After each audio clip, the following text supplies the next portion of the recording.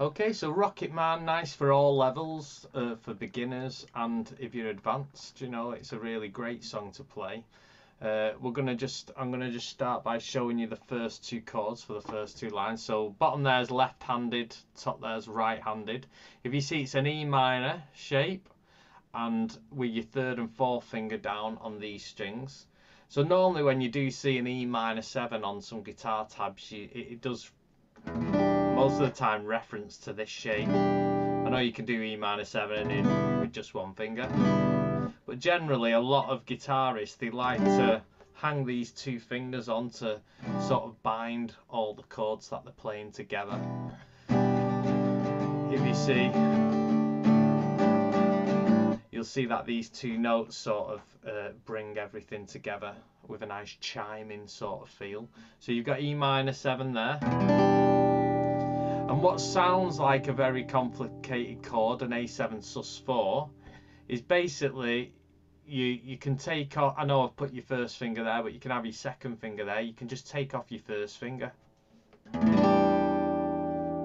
So if you look at my uh, uh, hand here, you got an E minor seven. Take off your first finger, and I'm going to go back and forward. So one, two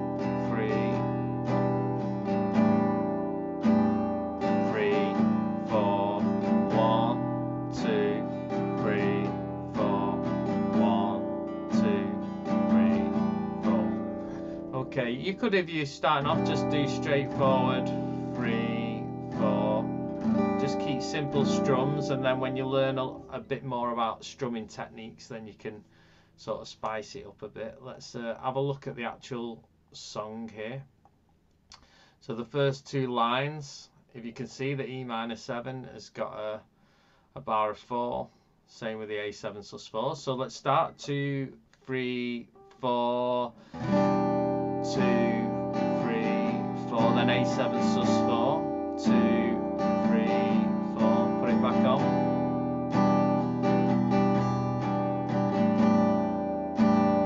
So I'm going to sing it now. So E minor 7, 2, 3, 4. She packed my bags last night pre-flight. Back to E minor 7. 0 hour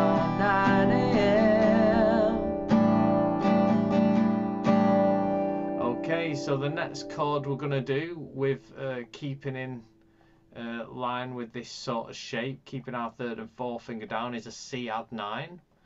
So it's a nice way to play a C if you're in the key of G. So you can see the G's there, you see add 9's there, just practice that. See it's the same shape here, and moving it down the shape. What you don't want to do is this, be sort of upside down. You're moving the whole shape down. So C add 9, I'm muting that uh, top string with my second finger here. If you want to mute it with your thumb, that's good. But if you don't want to do that, that's complicating it. Just don't worry about it for now. And then to a G. So up there. It does actually say on the chart G over B, so that means you've got a G here, but your B's got to be the lowest note, which is this one on the fifth string. So I might just take that finger off the G and you make this as my deepest note on the fifth string. So C add 9. It gives you a nice descending bass line rather than jumping to jumping to the G there. You've got more this bass line. So okay. And uh, I'll just cover a few more chords. So there we have the G. I didn't show you that. And then what we got left is an A minor, standard A minor, so first finger on the second string, first fret. Next two fingers on the middle strings. And then we have an A minor over G, so if you can see here, you keep the A minor chord and your little finger goes to the top note because that note there is a G. So if your guitar's a bit hanging back like this, you might want to straighten it up so to give your little finger enough chance to get up there because uh, a subtle sort of moving your guitar sort of subtly back so you're trying to look can hamper your hand from actually getting round. So watch this, if I move my guitar, suddenly it's super easy. That's hard. So, alright, so A minor. So A minor over G. And then to a D chord. So just practice that, that A minor to the A minor over G.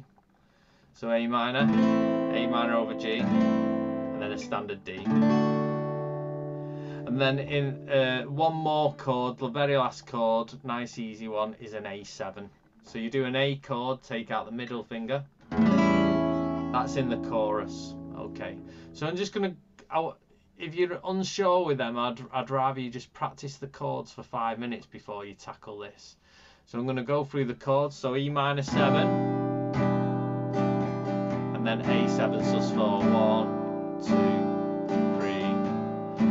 minor 7, A7 sus 4. And then you're going to go C add 9, G over B, A minor, A minor over G, and then D for two full lots of 4, 2, 3, 4, 1, 2, 3, 4, E minor 7. seven sus four, so take your first finger off. E minor seven. Three, four, one. And then we're gonna go C add nine, G over B. So they're all two beats each. A minor, A minor over G. Two full bars.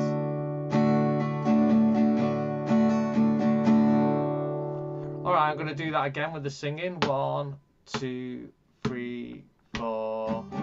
She packed my bags last night pre-flight. Zero hour, 9 a.m. To the C add 9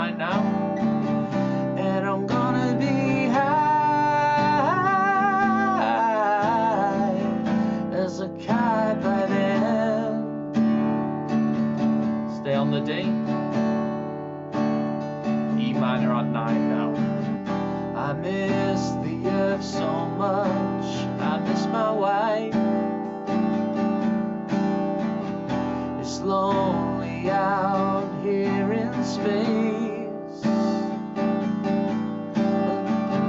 On such a timeless flight. Then to the day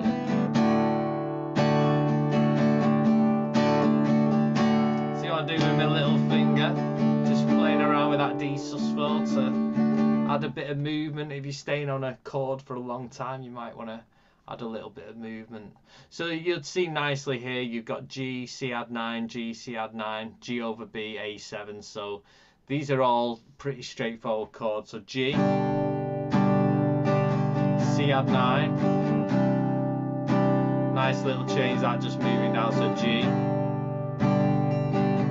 C add 9, G over B, A7. C add 9 to G. Okay, so that covers everything in the actual uh, chorus, but I'm going to do it with singing now. You ready? Two, three, four. And I think it's gonna be a long, long time till touchdown brings me right again to find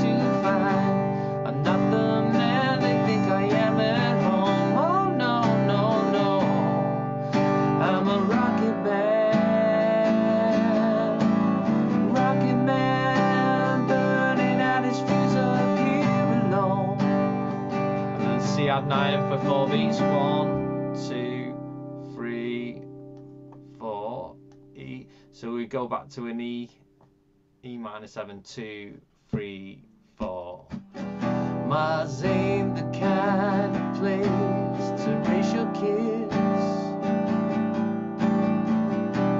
If that is cold as hell, C add nine,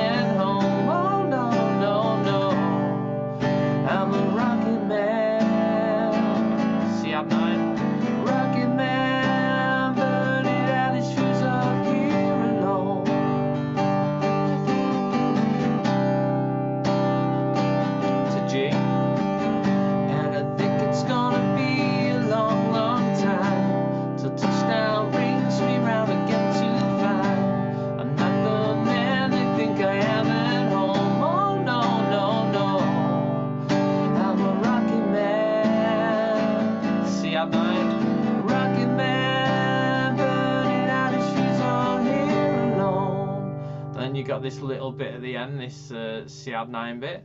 And I think it's gonna be a long, long time.